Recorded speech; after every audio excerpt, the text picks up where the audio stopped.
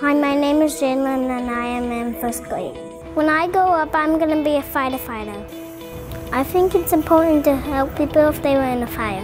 Believe and achieve. Good Day Rochester welcomes you back to school.